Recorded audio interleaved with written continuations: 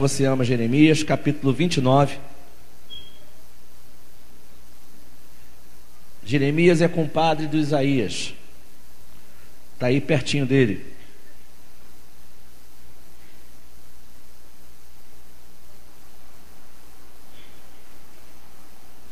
Jeremias 29, 13 e 14.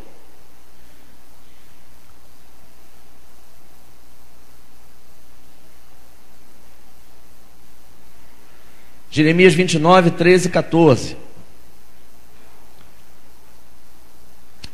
Eu falo hoje sobre avivamento. Quero falar mais focadamente em avivamento pessoal. O avivamento pode ser coletivo, a gente vai falar um pouco sobre isso também, mas o avivamento geralmente começa no indivíduo, geralmente começa dentro de cada um de nós, como brasas, para depois a gente estar juntos e formar uma fogueira. Jeremias capítulo 29, versículo 13 e 14 diz assim: Vocês me procurarão e me acharão quando quando o quê? me buscarem de todo o coração. Vocês me buscarão, me procurarão e me acharão quando me procurarem de todo o coração.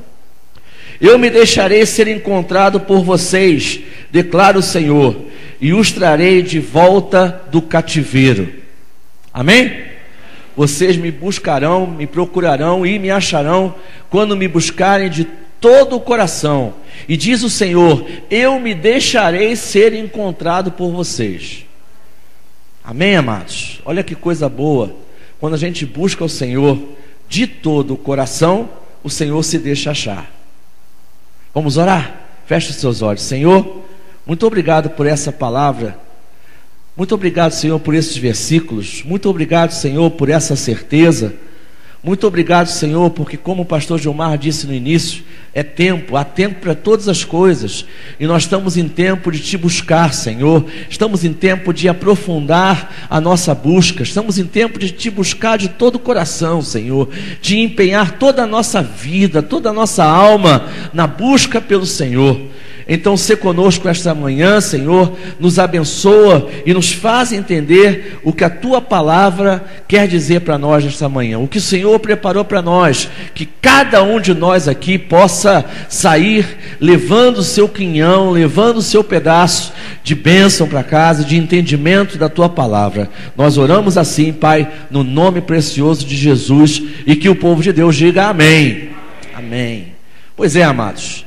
De vez em quando nós vemos pessoas que antes estavam motivadas, mas que agora estão frias, não estão mais com o mesmo gás, não estão mais com a mesma vontade, não estão mais com a mesma disposição em relação ao reino de Deus, em relação às coisas de Deus.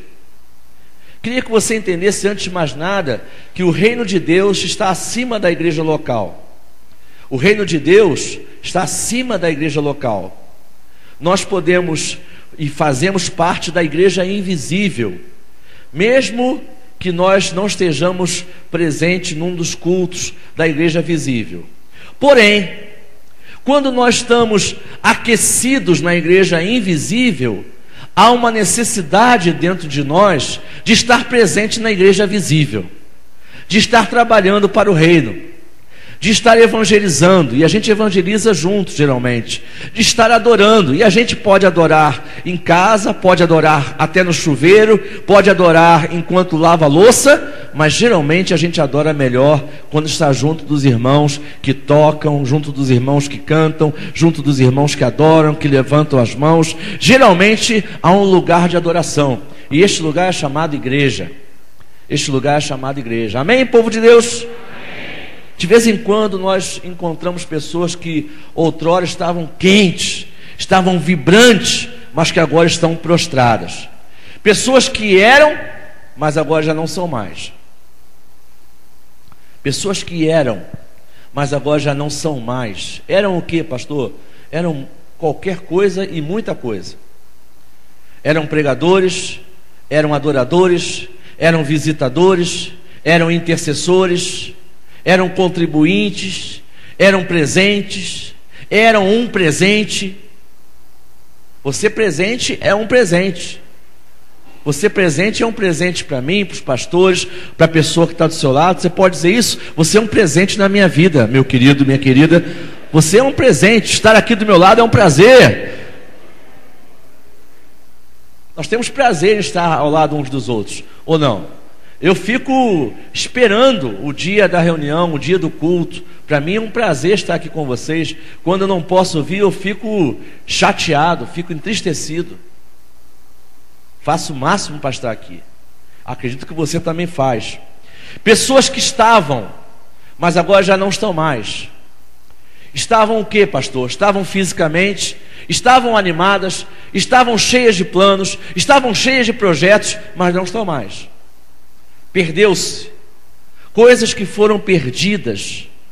Pessoas cujo coração ardia, mas agora o coração parece que está congelado lá um dos textos mais belos da ressurreição de Jesus é quando ele está com os discípulos no caminho de Emaús. E no final, os discípulos, dois discípulos, viram um para o outro e falavam assim: Caramba, você, agora eu entendo. Você percebeu que o nosso coração ardia enquanto ele falava? Pessoas cujo coração ardia quando ouviam uma pregação, e hoje talvez não arda mais. Pessoas que não se contentavam em ler a Bíblia só nos dias de culto e queriam a Bíblia todos os dias em casa, mas que agora só leem a Bíblia e mal leem a Bíblia em dias de culto. Pessoas que eram, pessoas que estavam, pessoas que tinham, mas agora não são, não estão e não têm mais. Pessoas que perderam. A igreja, eu quero dizer isso, que a igreja não descarta pessoas. Nós aqui de cima, e como pastores, nós muitas vezes percebemos o movimento, a curva sinuosa que as pessoas fazem. O ânimo, o estado de espírito, a vontade, a dedicação, o interesse que as pessoas têm. E hoje eu falo à igreja local. Eu tenho, eu tenho convicção, eu tenho claro na minha mente de que o culto da manhã é para se falar para a igreja local. Eu sempre ensinei isso para vocês. E eu falo à nossa igreja, eu falo à igreja de, de Cristo aqui, a CCNV em Ramos. Ok, amados? Eu tenho certeza de que a gente observa quando as pessoas estão mais afim, quando as pessoas estão mais dedicadas, mais prontas a responder, e quando as pessoas já não estão tão prontas a responder. Isso se evidencia pela frequência, pelas respostas, pelos sims, pelos nãos, pelos vou ver se dá, vou fazer um esforço para estar, vou fazer um esforço para estar significa que não vai estar. A gente já sabe isso, sim, fácil. Não me diga, por favor, vou fazer um esforço para estar. Porque isso é um sinal de que você não pretende estar. Então diga logo: olha, não vai dar para mim. É melhor do que a gente ficar naquela expectativa ou pensando besteira de você. É melhor. Sim, sim. Não, não. É isso que nos ensina o Evangelho. E ainda diz mais: o que passar disso é do maligno. Então tome cuidado com as suas afirmações, e eu com as minhas também, para que nós não possamos passar disso e entrar na parte que é do maligno. Porque o maligno não nos toca, mas de vez em quando nós tocamos no que é do maligno. O maligno não tem poder para nos tocar, mas nós temos poder para tocar naquilo que é do maligno, na mentira, na escuridão, nas, no esconder sentimentos. Então tome cuidado para isso não acontecer na sua vida, porque isso também esfria você. Esse despertamento que a igreja produz, a igreja é uma comunidade terapêutica. Como eu estava dizendo, a gente sabe que no meio de um povo, seja ele qual for, seja ele o povo de domingo de manhã, domingo de noite, quinta, que às vezes são três povos diferentes, a gente tem certeza que há pessoas mais é, interessadas, mais aquecidas, e há pessoas menos interessadas, menos aquecidas. E a igreja não descarta ninguém. Amém, amados? Há pessoas que nos visitam, talvez algum ateu já tenha passado por aqui, talvez alguma pessoa que já tem muito conhecimento da Bíblia já tenha passado por aqui, mais do que nós, não há problema nenhum nisso. Talvez é, pessoas que têm mais conhecimento de nós estejam aqui, da Bíblia, estejam aqui. Nós temos diferentes pessoas e nós temos noção disso. E sabemos que a igreja é uma comunidade de cura. A palavra cura, a palavra restaura, a palavra levanta. Amém, amados? E como nós cantamos aqui, Deus é um Deus que cura. É o mesmo Deus de Abraão, de Isaac e Jacó. Ele levanta até os mortos os mortos emocionais, os mortos espiritualmente, ele levanta até os mortos. Ele faz que os, que os ossos se juntem e tenham vida. Então, se você já foi, já esteve mais interessado, se você é, já teve mais ímpeto e hoje tem menos, saiba que o Senhor está aqui nesta manhã para juntar ossos, para dar medulas, para dar juntas, para unir os ossos, para dar carne e para fazer você ter vida, amados. Jesus nos quer aquecidos. Diga comigo, Jesus quer que eu esteja aquecido, ter paixão por vir para a casa de Deus, ter paixão pela palavra de Deus, ter paixão pela oração a Deus. Afinal de contas, quando nós oramos, como o pastor Anderson acabou de orar aqui, e orou com fervor, quando nós oramos, nós oramos a um Deus Todo-Poderoso. Quando nós lemos a palavra, nós lemos a palavra que um Deus Todo-Poderoso escreveu. A Bíblia tem 40 escritores, mas tem um só autor. O autor é Deus. Os escritores já morreram, mas o autor não morreu. O autor está vivo e está ao nosso lado. Sempre que a gente para para ler a Bíblia, o autor da palavra está aqui, amados, nesta manhã. Então nós precisamos aquecer o nosso coração e lembrar de algumas coisas muito importantes. E a igreja é o lugar ideal para isso. A igreja é um lugar terapêutico. A igreja é para você vir e sair melhor. Se você vem e sai pior, tem alguma coisa errada, ou com a igreja ou com você. Alguma coisa errada. Aí você olha para os lados. Se os seus irmãos também saíram pior, o problema é com a igreja. Mas se os seus irmãos estão saindo bem e você está saindo mal, o problema não é com a igreja. É fácil avaliar. Veja os outros, avalie os outros. E se o problema é com você, que esta palavra desta manhã aqueça o seu coração. Não coloque você mais para baixo, mas simplesmente aqueça o seu coração, simplesmente e totalmente. Aqueça o seu coração. Avive a sua alma, avive a sua vida, que é o título dessa mensagem. Esse despertamento é chamado de avivamento. Avivamento é isso, amados. Avivamento é uma disposição para evangelizar. Avivamento é um quebrantamento na presença de Deus e uma confissão de pecados. Há quanto tempo você não confessa seus pecados ao Senhor? A gente ora, ora, ora, pedindo as coisas a Deus, Senhor, faz isso por nós, Senhor, faz aquilo por nós, faz aquilo outro por nós, mas quanto tempo nós gastamos em oração para confessar os nossos erros e pecados?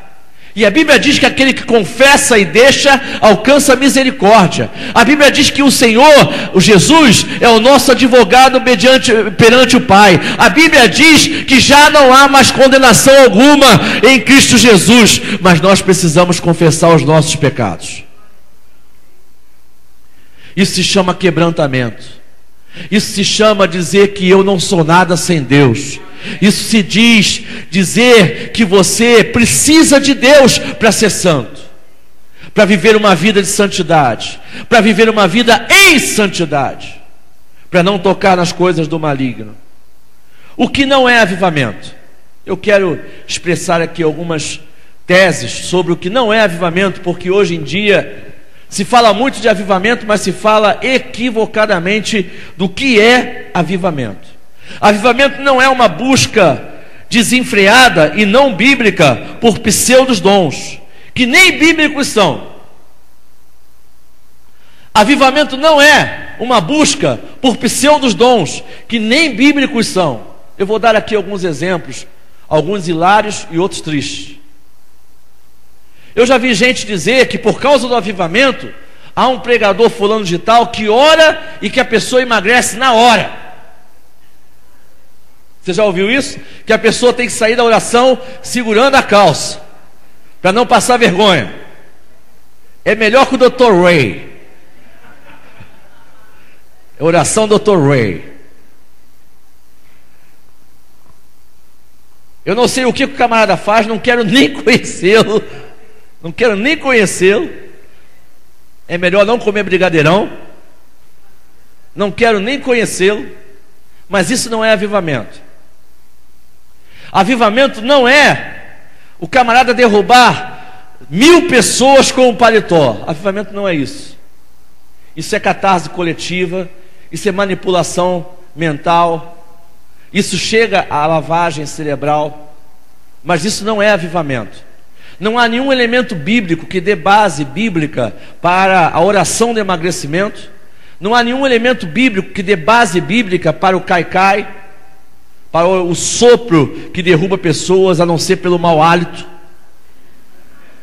Algumas pessoas são derrubadas pelo mau hálito. Ah, pô! Aí sim, tem pessoas que a gente chega perto e a gente quase recebe a unção do mau hálito. Essa cai, essa faz cair.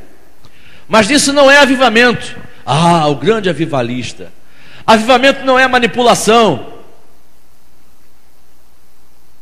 Eu uma certa vez vi um pregador, eu vou repetir aqui o gesto dele, eu acho que algumas pessoas aqui estavam na mesma igreja que eu estava e que vão lembrar disso. Uma vez eu vi um pregador fazer uma manipulação muito ridícula. Ele falava assim, no final da pregação, ele fez assim: Faça comigo. Não faz não, tá? Faça comigo. Dois. Três dedos agora. Quatro dedos agora. Cinco dedos agora. E a igreja toda fazendo, né? Fazendo maior barulho é, progressivo, falando progressivo de um dedo, dois dedos, três dedos, quatro dedos. Aí, quinto, quinto dedo, batia a palma. Veja o avivamento de Deus. A chuva da bênção de Deus. E o povo em catarse gritava: Aleluia, aleluia. Deixem Barrabás, matem Jesus.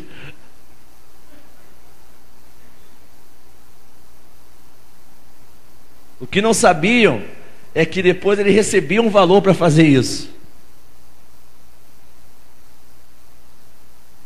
Para promover aquele avivamento, aquela empolgação. Mas eu quero dizer para você, amados, que avivamento não é empolgação. A empolgação esfria na primeira esquina, mas o avivamento legítimo que vem de Deus, sem manipulação, mantém você aquecido a semana inteira e vivendo em vitória a semana inteira, porque o Senhor faz um trabalho completo. E se você quer isso, diga um aleluia aí, meu irmão.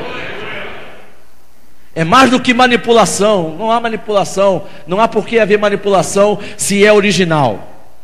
Se vem do Espírito, não há por que ter manipulação. Avivamento não é uma superdotação de poderes, embora no avivamento sejam dados dons espirituais. Quando você aviva a sua vida, pode se preparar porque Deus vai te usar.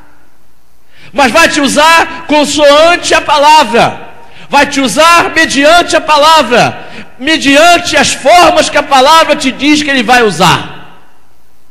Não vai te usar de qualquer maneira, como Deus quer, como Deus quer, não, como você quer, como as pessoas esperam, como é bonito, como outro irmão ousado. Não vai te usar para dar cambalhota. Vai te usar como Deus quer e como a palavra diz que Deus quer.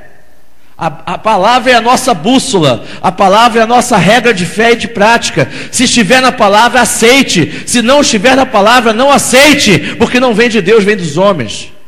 Ou até mesmo vem do diabo. Ou até mesmo vem do diabo. Agora, todo avivamento produz primeiro quebrantamento e depois dons. Sem quebrantamento, irmãos, não há dons. Porque se Deus derramar dons, se você não tiver quebrantado, você fica soberbo. Você fica vaidoso. Então, primeiro o quebrantamento, depois os dons. Qual a intensidade disso? E como se encontrar um avivamento? Como se encontrar vida com Deus? Essa foi só a minha introdução. Agora eu quero ir para a explicação do texto.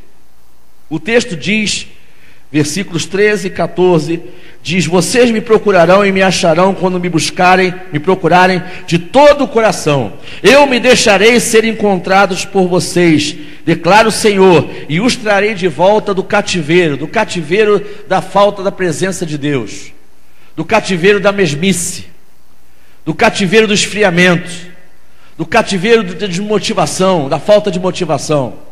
Como encontrar isso? Primeiro, procurando a Deus. Procurando Deus. Há um livro chamado Caçadores de Deus, que te estimula a buscar a Deus de forma intensiva, te, te, te estimula a buscar a Deus de uma forma é, radical. Procurar a Deus aonde estiver, da forma como estiver, e Deus fala com você, meu amado, através da palavra, Deus fala com você através de um coração limpo, Deus não fala em um coração sujo, a não ser para que ele se limpe, Deus não fala a um espírito soberbo, a não ser para que ele se diminua, para que o Senhor cresça. É preciso diminuir para que o Senhor cresça dentro de você, meu amado. Como procurar Deus? Deus está disposto a ser achado, mas tem que ser procurado. A Bíblia diz lá em Apocalipse, Jesus dizendo: Eis que estou à porta e bato. Se alguém abrir e deixar eu entrar, eu cearei com ele. Tem que abrir a porta, tem que deixar Deus entrar, tem que procurar a Deus. Deus está disposto a ser encontrado, mas você tem que procurar a presença de Deus. Você entende isso aí? Diga um amém, irmão. Tem que ser buscado. Ah, pastor, mas estamos na, na idade da graça, no tempo da graça. Deus está disponível, Deus está disponível sim. Jesus rasgou o véu, mas você precisa vir até a presença de Deus. Você precisa responder aos apelos de Jesus, aos apelos de Deus, para estar na presença dEle. Tem de haver um esforço para buscar e encontrar Deus. Tem que haver um esforço. Tem que haver uma disposição em gastar tempo para encontrar Deus tem que se parar para buscar Deus, tem que se desapegar de coisas materiais, porque muitas vezes as coisas materiais nos afastam de estar na presença de Deus. Imagine você, imagine você, se você gastasse o tempo que você vê televisão ou fica no computador em oração. Imagine você só setorizando. O tempo que você vê televisão, vê as novelas de televisão, você abrir mão disso para estar na presença de Deus. Eu não estou falando que você precisa deixar de ver novelas, mas estou falando que você precisa não deixar de orar a Deus. Amém, amados? Imagine se você deixasse o tempo que você fica no Facebook se distraindo para se ligar na presença de Deus. Alguém pode estar achando assim, mas o pastor fica com o Facebook ligado o dia inteiro. E fico mesmo. Facebook para mim é comunicação.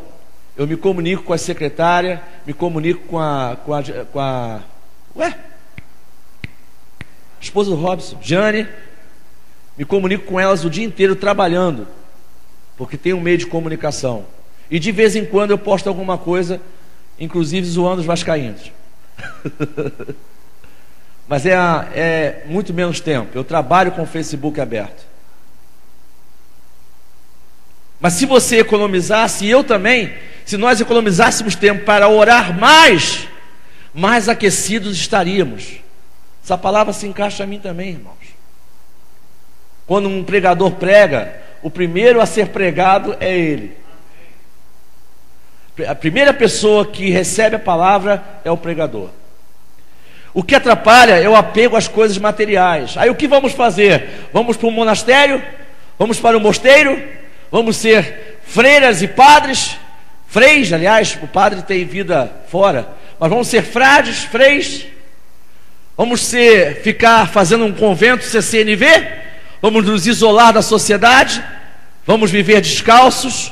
Vamos fazer votos de pobreza? Vamos jogar fora os celulares da vida? Não.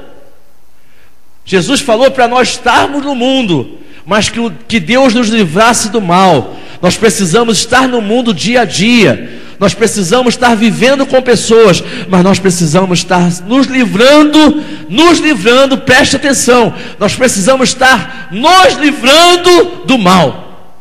Deus nos livra do mal, mas às vezes a gente se mete em cada encrenca do mal que não está no gibi.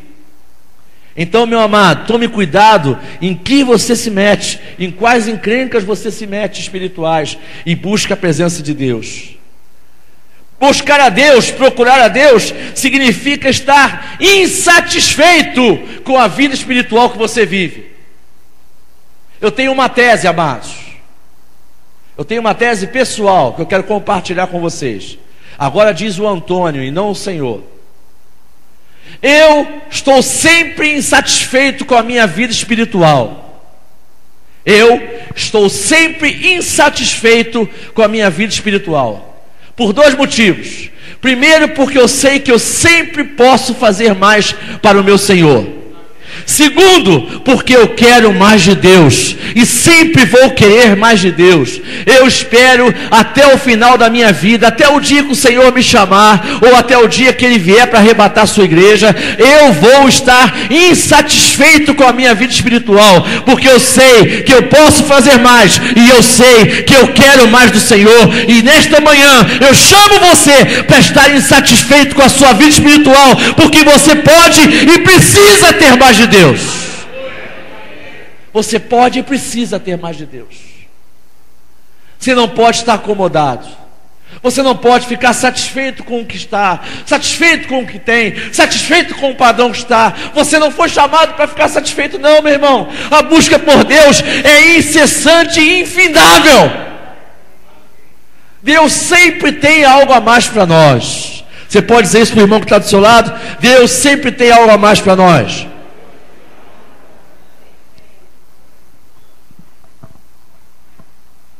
Sempre tem.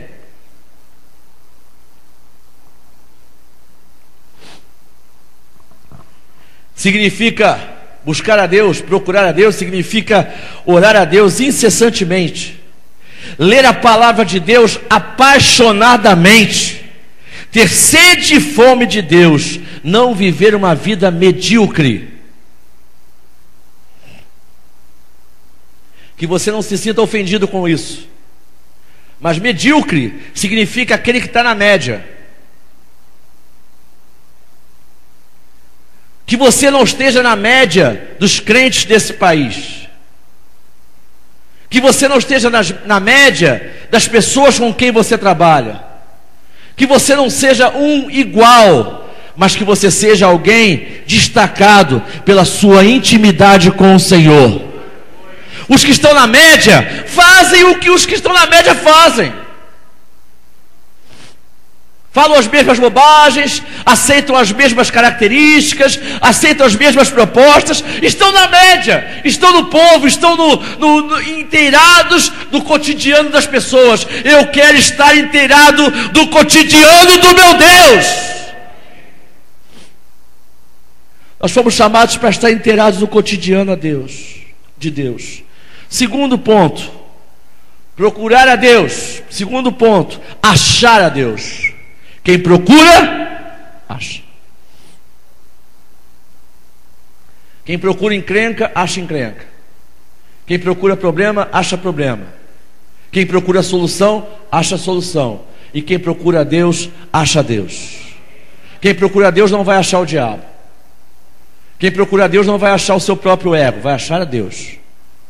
Quem procura a Deus com sinceridade, vai achar a Deus, vai achar Deus. Será que você já achou Deus em toda a sua plenitude?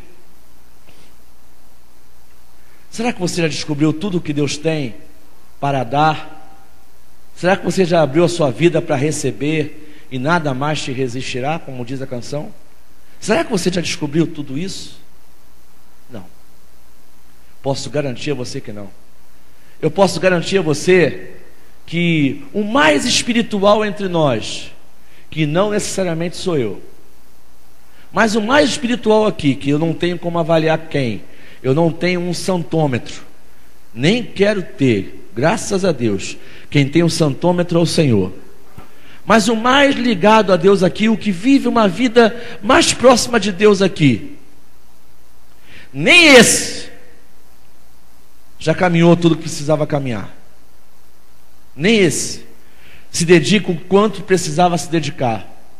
Nem esse é quem era para ser. Nem esse tem o que pode vir a ter.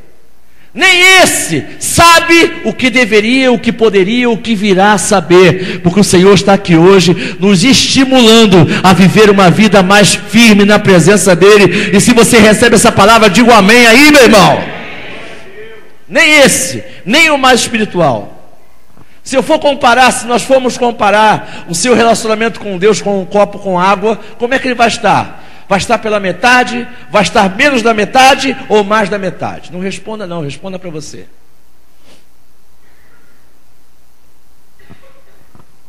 Como vai estar? Menos da metade, mais da metade ou na metade? O que eu diria para você é que o nosso padrão tem que estar da metade para cima. Da média para cima. Nunca na média. E nunca abaixo da média. Jamais abaixo da média tem que estar da média para cima. Você tem que ser um cristão de excelência. Você não pode ser um cristão qualquer. Você tem que ser um cristão avivado, um cristão de excelência, um cristão que tem uma palavra para falar, um cristão que tem uma atitude cristã para fazer. Você precisa estar despertado, meu amado. Três. Existe uma condição para achar Deus. E Deus coloca aqui, vou voltar a ler o versículo 13. Vocês me procurarão e me acharão quando? Olha a condicional. Quando o quê? Me buscardes ou me procurardes de todo o coração. Aleluia. É interessante, não é? Deus se deixa achar para quem o busca de todo o coração. Para quem o busca com a integralidade da sua vida, com a sua vida integral na busca por Deus. Isso significa que seu espírito tem que buscar a Deus, mas a sua alma também tem que buscar a Deus, sua mente, alma sinônimo de mente, e o seu corpo também tem que buscar a Deus. Todo o seu ser precisa buscar a Deus, todo o seu coração. Ele só se revela a quem o busca de todo o coração. Pode ser uma frase só, mas que mostre que é de todo o coração, então o Senhor se revela. Quando o nosso coração está dividido com outras coisas, dificilmente vamos ter uma vida avivada. Quando o nosso coração está dividido com outras coisas, dificilmente vamos ter uma vida avivada. Buscai primeiro o reino de Deus e a sua justiça, e todas as demais coisas vos serão acrescentadas. Buscai primeiro. Deus não se permite dividir, amados. Ele quer exclusividade. Nós viemos de uma semana de Páscoa onde nós proclamamos que Jesus nos salvou, que Ele se deu por nossa vida, Ele se deu para nos salvar, e nós, o que estamos dando a Ele? E nós, se queremos ser avivados, o que estamos dando a Ele? Precisamos meditar nisso, pensar nisso. Ontem eu estava falando com uma, duas pessoas, estava dizendo para eles que nós não podemos colocar no mesmo patamar os nossos encontros com o povo de Deus e com Deus, no mesmo patamar de ir ao cinema, de visitar um parente, de ir ao supermercado, de lavar o carro. Ah, eu vou se der. Não, meu irmão, isso está errado. Eu vou se der tempo. Não, meu irmão, isso está errado. Ah, eu ia, mas de última hora fulano me chamou para ir ao cinema. Não, meu irmão, isso são valores errados. São valores torcidos. O reino de Deus não é só vir à igreja, mas o reino de Deus inclui vir à igreja. Inclui a sua presença para ouvir palavras como essa. inclui a sua presença neste lugar para cantar louvores como esse que nós cantamos nesta manhã. Para orar pela mãe, mãe do diácono Jário, como nós oramos esta manhã. E talvez você não tivesse vindo, talvez você não, sou, não soubesse disso. Eu vejo pessoas que passam dois, três domingos sem vir, quando vem, está acontecendo um monte de coisa na igreja e ela não sabia de nada. Ah, mas eu não sabia. Não sabia porque não estava. Deus usa quem está, meu amado. Deus usa quem está presente. Você pode dizer um amém a isso? Amém. Deus usa quem está presente. Ah, pastor, eu não pude ir porque eu estava com isso, isso e isso. Será que você, se tivesse que trabalhar, você também ia faltar o trabalho porque estava com isso, isso e isso? Ou será que estar na presença de Deus é menos importante do que ir ao trabalho? Será? Valores estão iguais? Estão locados? Aqueles que não estão mais na presença de Deus é porque nunca entregaram seu coração totalmente a Deus. Aqueles que se desviaram da presença de Deus é porque seu coração sempre esteve dividido. Aqueles que não estão mais frequentando igreja alguma Aqueles que não estão mais servindo a Deus em lugar nenhum, é porque nunca entregaram de todo o seu coração a Deus. E aí uma decepção, um problema, uma dor, uma crise, um desânimo, ou então um começo de falta, falta, falta, e depois desfria, é porque nunca sua mente, seu coração, a sua alma, o seu espírito esteve totalmente envolvido na presença de Deus. Sempre teve algo para dividir, sempre teve algo para andar junto. Nunca perceberam o valor de estar na presença de Deus. Irmãos, se for falar de motivos para estar fora da igreja, eu poderia te contar uns 100 motivos que eu tenho para estar fora da igreja. Uns 100 umas 100 coisas que já passaram na minha vida que seriam motivos para eu dizer para qualquer pessoa: olha, eu não estou mais na igreja por causa disso, disso e disso, porque Fulano fez isso, isso e aquilo. Mas eu não estou na igreja por causa de homens, nem por causa de mulheres. Eu estou na igreja por causa de um Senhor que me resgatou e que me colocou de pé. Você não pode estar aqui por causa de homens nem mulheres. Não esteja aqui por minha causa. Porque eu sou falho, sou humano, e amanhã eu posso não estar mais aqui, posso morrer, posso não estar bem, e você não vai vir?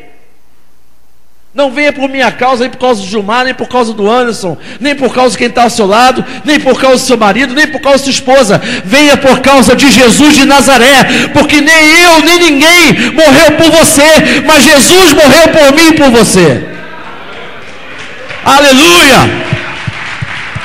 Foi ele quem morreu.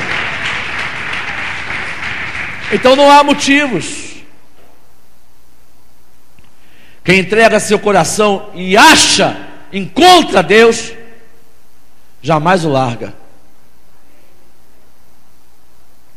Quem encontra Deus, quem entrega seu coração inteiramente a Deus, jamais o larga. Eu posso afirmar isso.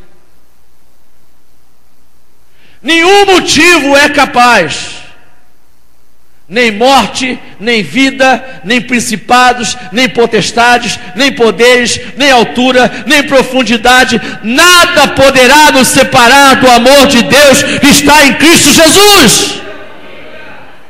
Nada. Quem encontra a Deus, quem encontra Jesus, jamais o larga.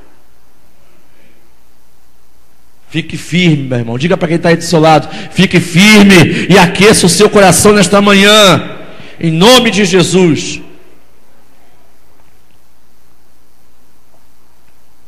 Me perdoe beber tanta água, mas é que eu estou rouco e a minha garganta está ardendo a beça. A Bíblia diz que aquele que encontra o Senhor Jesus, do seu interior fluirão rios de água viva.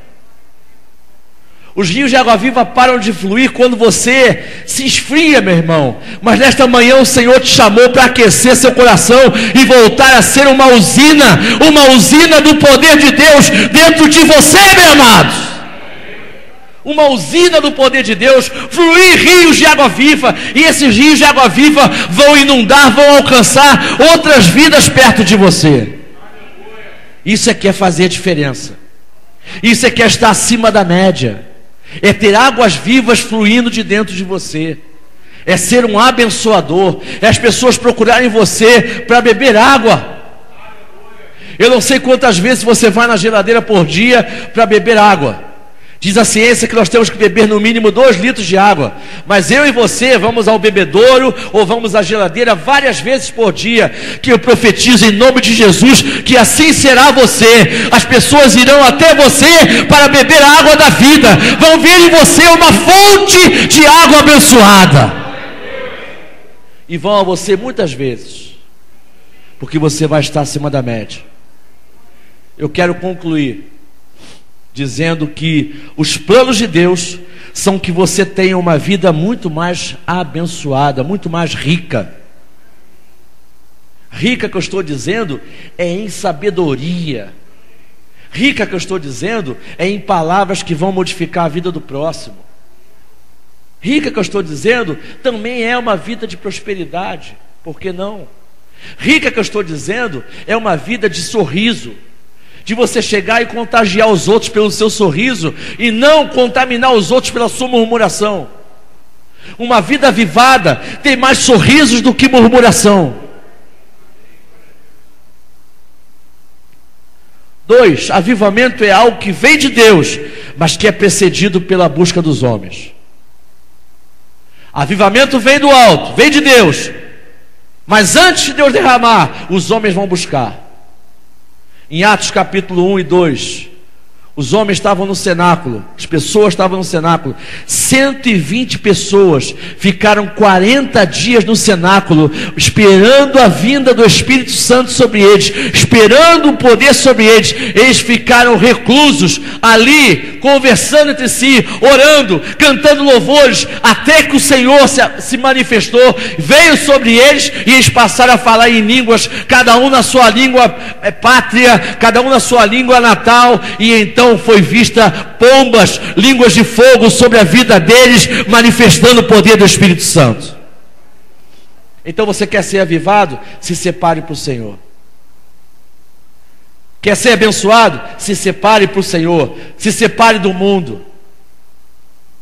Viva uma vida além da média. Essa é a frase desta, desta manhã. Viva uma vida acima da média, vida espiritual acima da média. Se você viver uma vida espiritual acima da média, você vai viver uma vida financeira acima da média. Você vai ter tudo acima da média. Porque você está vivendo num plano acima da média. Terceiro e último. Não espere ser avivado. Não espere que Deus produza um avivamento se você faz o comum. Se você é um daqueles que só pega a sua Bíblia no dia de domingo e coloca debaixo do braço, ou às vezes nem traz a sua Bíblia. Eu não consigo compreender como é que um crente não traz a Bíblia para a igreja. Não consigo compreender. Mas se você só faz o comum, se você pega a sua Bíblia e bota a Bíblia debaixo do braço e vem para a igreja, mas durante a semana a sua Bíblia fica lá em cima do armário, sem você pegar para conversar com Deus, sem você pegar para saber o que Deus quer falar com você. Com isso, meu amado, você não vai chegar a lugar de diferença nenhuma. Você vai continuar sendo um crente normal, entre aspas. E um crente normal fica sempre na média. E um crente normal na média é medíocre. Nós fomos chamados para sermos pessoas acima da média. Todo o povo de Deus foi chamado para ser pessoas acima da média. Jesus fez algo acima da média. Jesus morreu na cruz acima da média. A dor que ele suportou foi acima da média. A salvação que nós recebemos é uma salvação acima da média. Por isso nós precisamos viver uma vida acima da média. Amém, amados? Vamos ficar de pé e orar a esse Deus.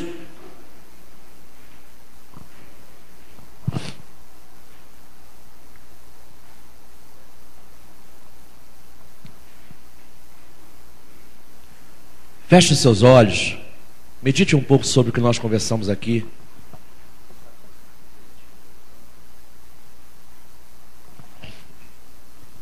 Feche seus olhos. Eu quero convidar você para meditar nesta manhã.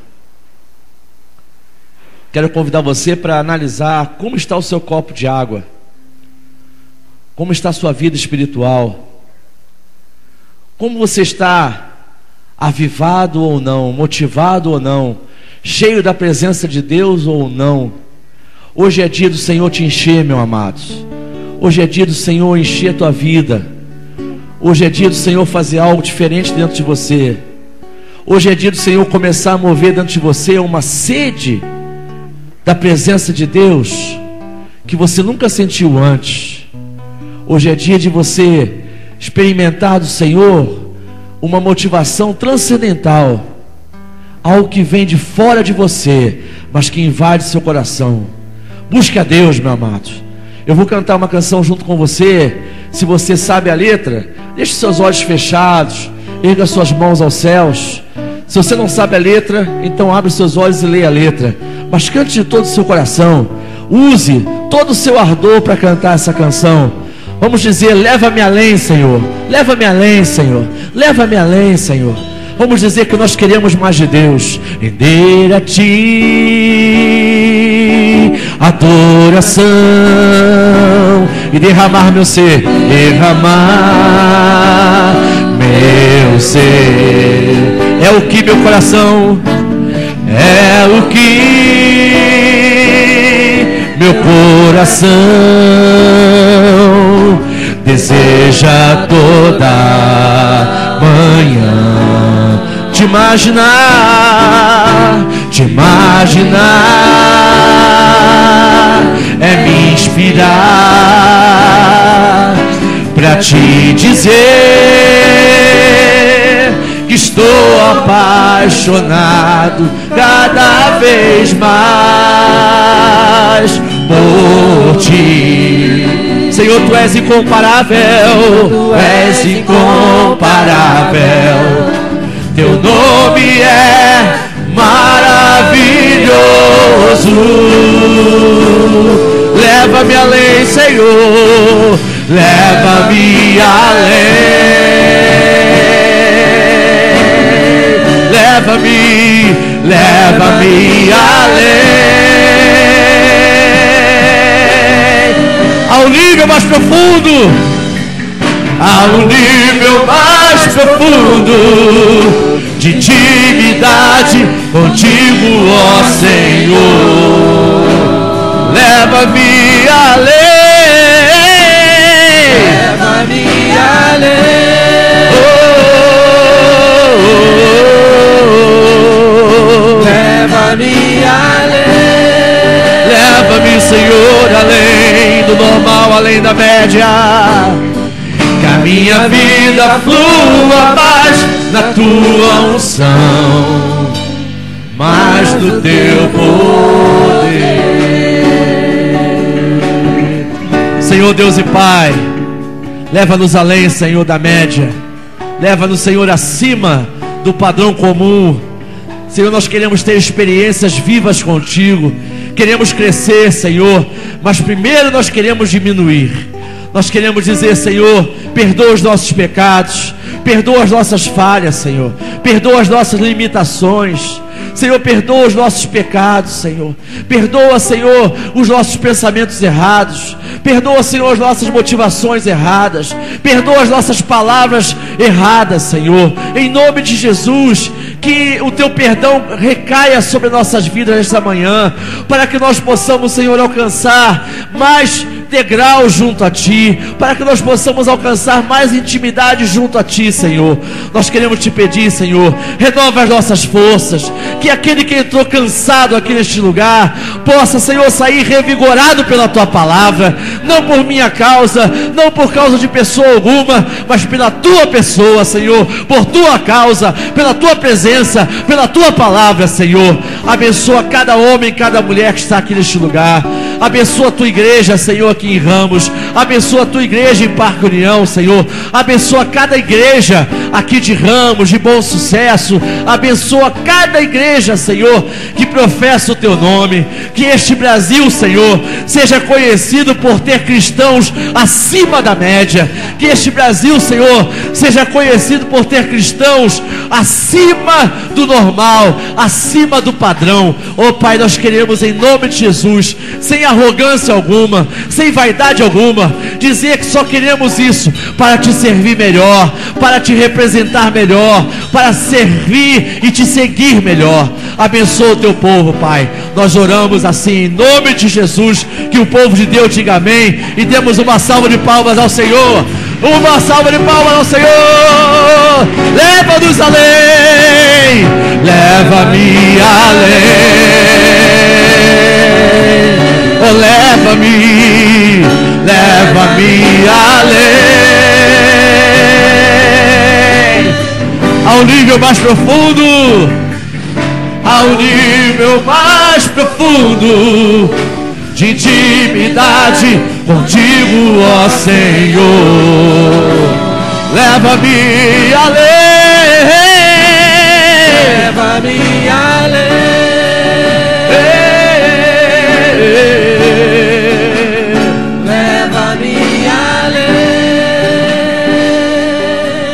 Minha vida flua mais da tua unção.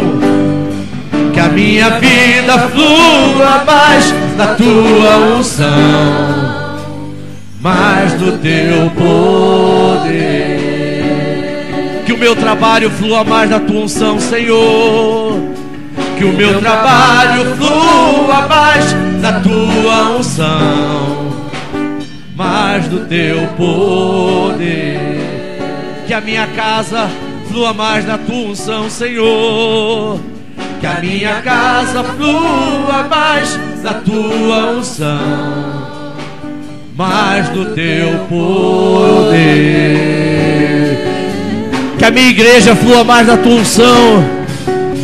Que a minha igreja flua mais da tua unção, mais do teu poder.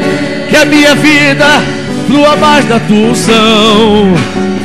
Que a minha vida flua mais da tua unção mais do teu poder.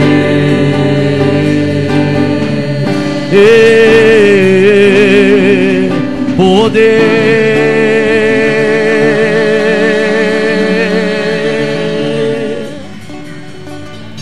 Aleluia. Aleluia. Aleluia.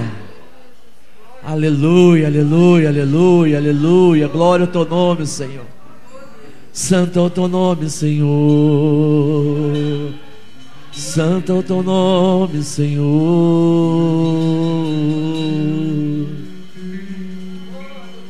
Recebei a bênção, irmãos. Que a graça do nosso Deus e Pai, que se deixa procurar e se deixa achar, que o amor de Cristo, aquele que se ofertou por nós na cruz do Calvário, fazendo algo acima da média, e que as consolações, o poder, a presença do Espírito Santo, que aviva a alma daquele que está desanimado, aflito, afligido, cansado, sobrecarregado, que a presença dos três, da Trindade Santa, seja sobre vós, amados, e sobre todo Israel de Deus, em toda a face da terra, sobre a vida dos cristãos perseguidos, sobre a vida dos pastores e mestres, sobre a vida dos profetas desta terra, sobre a vida dos crentes desta terra, que esta bênção, que a bênção do Deus Pai, do Deus Filho, do Deus Espírito Santo esteja sobre a igreja brasileira, agora e para sempre, e que o povo de Deus diga amém. E vamos dar mais uma salva de palmas ao Senhor que nos abençoe. Thank you.